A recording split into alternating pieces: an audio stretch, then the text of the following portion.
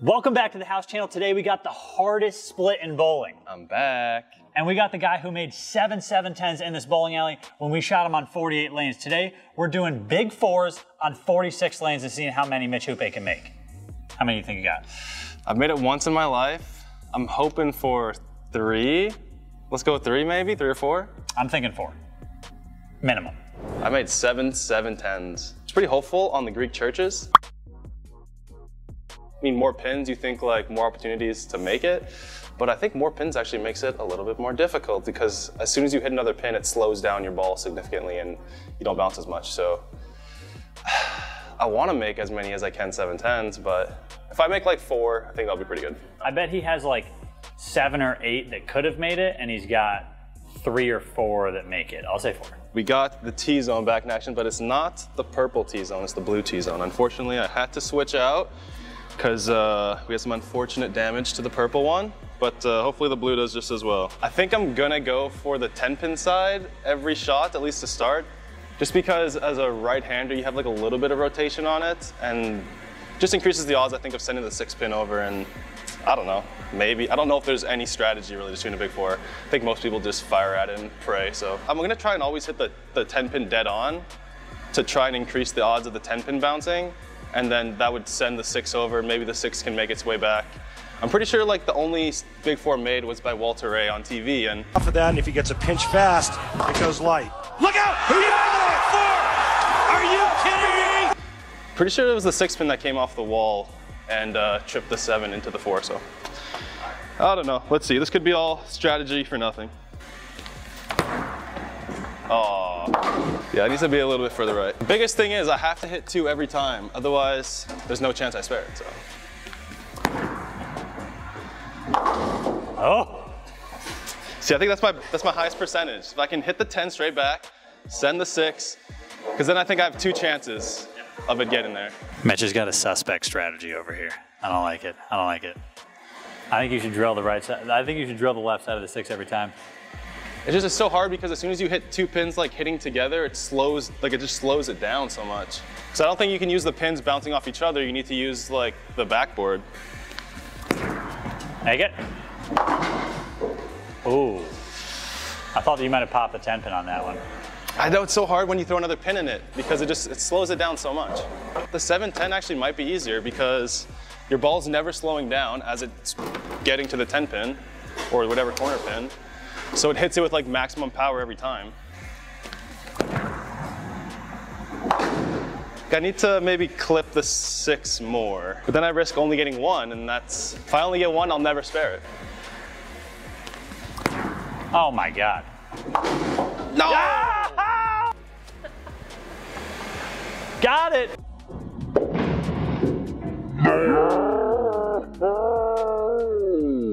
One for one on the 710. Kind of.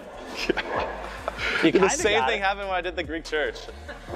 Did he I not made every just, split but the Greek church. Did he not just give a full speech about how the 710 is easier than making the big four? The 710 actually might be easier. And there it is. God. How many 710s do you think you're gonna make in this video?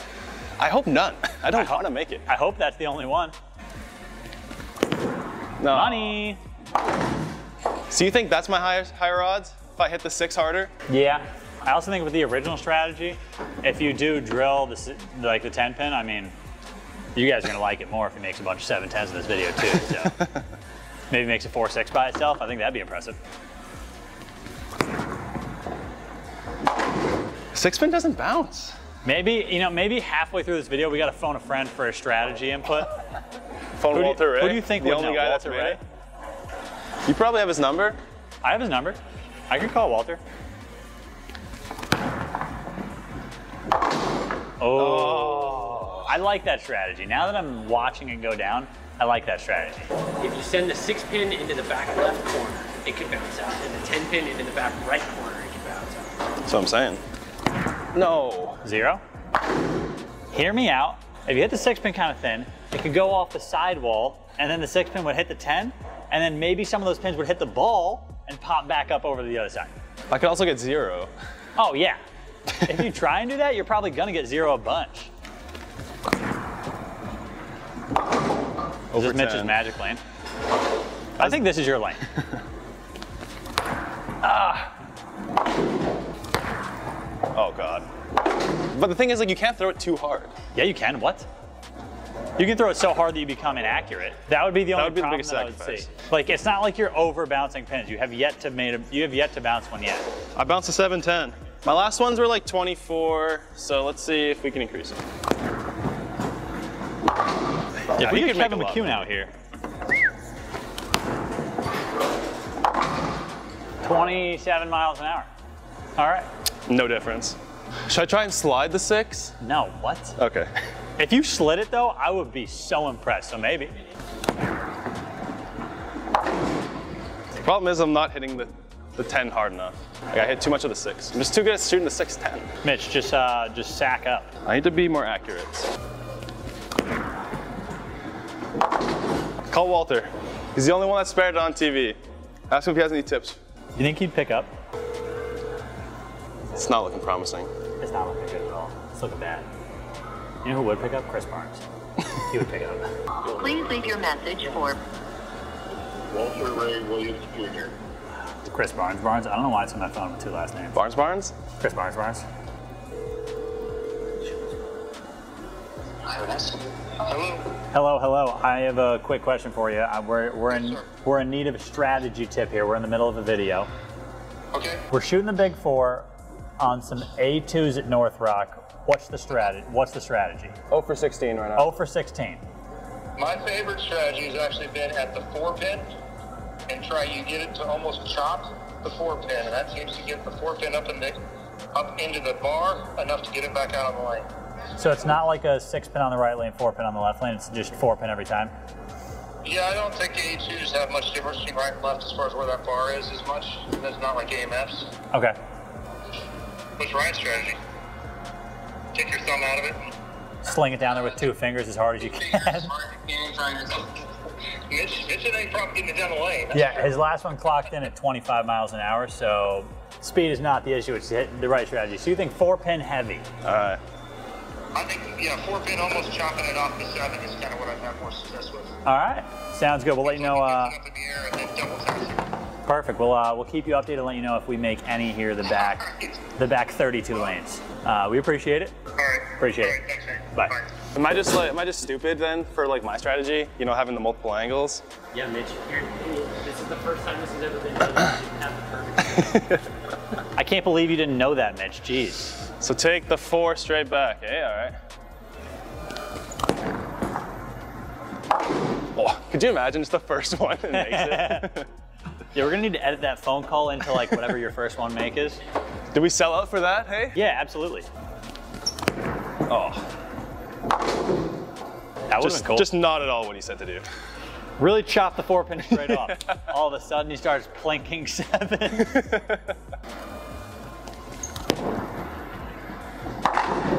oh my! Took that was four, six exactly what he was talking about. It's such a weird feeling because it's like depressing that I can't make a big four, but then it's like some people go their whole lives without making a big four. Meanwhile, I'm probably like one for like 400 lifetime. Ah. I will say that I would like to change my number. we're giving some FanDuel live updates, uh, which, you know, I mean, if FanDuel wants to sponsor us, they can. Uh, but if we're giving a live update on over under, Matt said it was at three and a half to start the video. I think now, Is that one? I think now maybe we're looking at half. So he's either gonna make one or he's not. I do not think he's making two. Is the 710 just that much easier? The 710 being like the notorious hardest spare? It really isn't. Oh, oh, now we got it. Now we got it. That's Just gotta first, do that every time. That was the first time I genuinely like thought you were gonna make it because the pin actually went up like into the top right corner, which all the times you shot the six pin, the six pin went like low left. Yeah, that one actually went up and to the right. Just it's not like that easy to just do that every time. One time? We're getting somewhere. We're getting somewhere. Getting closer. Man, there's there's like some reason behind that madness. Then he's right. Is Chris Barnes the smartest man in Huh. ball? I would have never thought to to shoot it that way. It's like we called the guy who has the most knowledge about this sport in the history of the game. No. Hated it. It's crazy how much more like the corner pins bounce when you hit it straight with the ball, as opposed to like sending a pin into it and then a Versus when you try and like double tap both pins. Bang.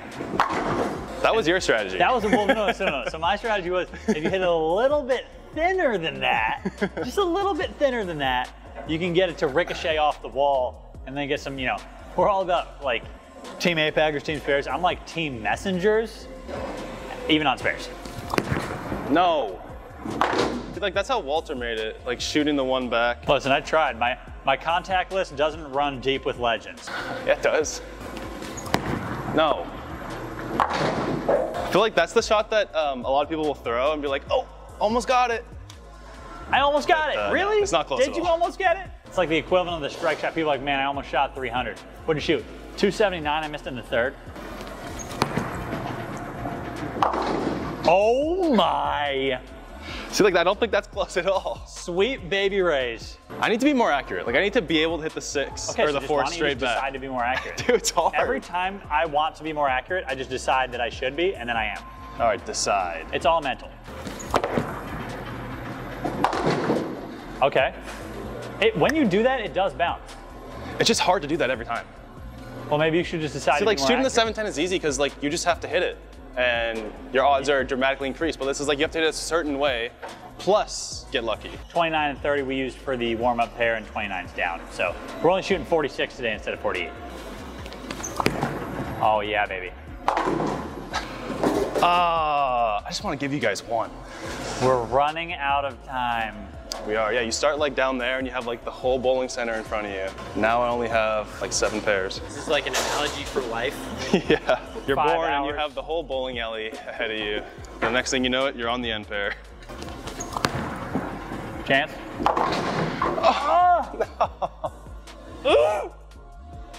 Come on. Like, was that close? I think so. We're doing the Chris Barnes strategy for the rest. I think he's right. I mean, the only ones I've been kind of close to have been.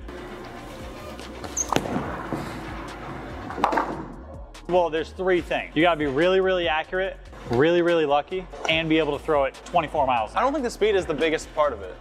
I really don't. I asked Mike Wolfe how many bonus pins he thinks Kevin McCune gets per tournament because he shoots his spares at 27 miles an hour.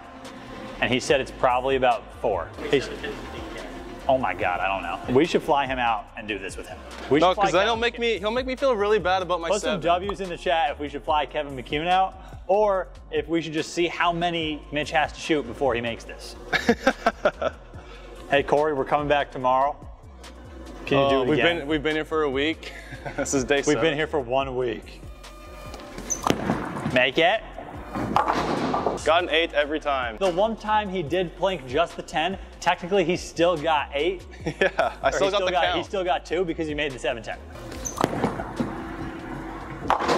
Just saying it. Just saying it today. Maybe we host a tournament at the alley. First one to make the big four. That'd be kind of interesting, actually. Ah. Oh, God my Damn it, man. God. Just give me one. Just give me one. Just one time.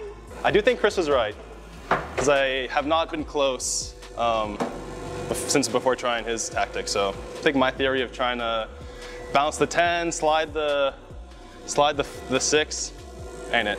Do you think Chris Barnes is the smartest man in bowling? Uh, he's pretty. He's up there, yeah. Wow. I'm just saying, standing up here it looks a lot easier than what you're making. it look like. Have you ever spared the big four? yeah, once. Slid the six into the seven and then just like fell forward. I made the big four once in my entire life, and it was when I was like 16, and I bowled 276. Yo! Spare was the big four. Wow. Never made it since then. Yeah, you'll never forget that though. Until right now. Damn. Mitch, you you stink at this. By the way, thanks for doing this video. You're welcome. It's, it's usually more fun on my end when I can spare some. The 710 video just set you up for failure. I know, that's what I was telling Packy. Yeah, Like, I you made did walk seven away. of these. I can make anything. Oh, that's a that's a make. Damn it. Damn it, Chris. Wait, play that phone call back where he said try and get one. He said it's almost like you chop it. That was it. That was the chop. Oh my God, he's a laser. I mean, what more do you want from me? You got to tell the people. Tell the people why that happened. What? I don't know why that Because happened. you're the most accurate spare shooter on tour. Not the most accurate, but I am one of the higher spare percentages. There's a lot of lucky spares in those in that percentage. Mitch is about a 97% spare shooter, 10% of that being luck. no! There's no way. What am I? What am I supposed to do? What? I'm doing what he told me to do. It's not working. Um, One more time. so do we abandon this tactic or? Chris, so Mitch has got one, three shots in a row. One more time. Oh, my, my God. God. what is going on? Do you know how precise you have to be to do that? He didn't say to chop it. well, no He shit. said almost like you're chopping it. At this point, let's just see how many times I can do that. At this point, let's just see how many you can get in a row. just kidding. just Let me move it one millimeter. All right.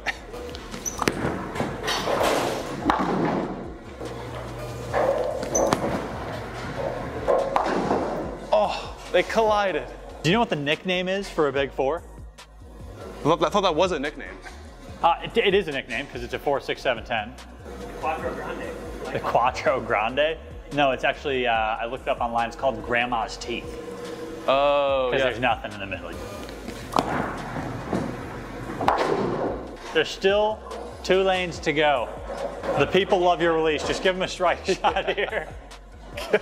just give them a strike shot here. They Let me just show them the release one last They love your release. It's silky smooth. Last two, he's going two for two. Why? Because Mitch is for the people. All right, Pat, which side am I going for? Left side still? Left side. You drill that thing. What? Oh, no. How did that not make it? That, was- was, that so close. That was the one. You know it's tough when everybody's like, one time.